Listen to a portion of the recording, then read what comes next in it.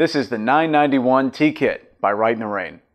Now, index cards are simple and utilitarian, but well organized, they're an outstanding method for task management. The 991 T-Kit is the ideal companion for folks that use index cards. Featuring an easy access pen slot and this firm backing, you'll always have something to write with and somewhere to write on. The rubber corner straps on the back of this wallet hold up to three index cards in place, while this interior strap holds up to 25 more cards. The cards themselves are 3 inches by 5 inches with a universal grid front and a blank back. While this kit comes with tan cards, our cards are also available in white, gray, and green.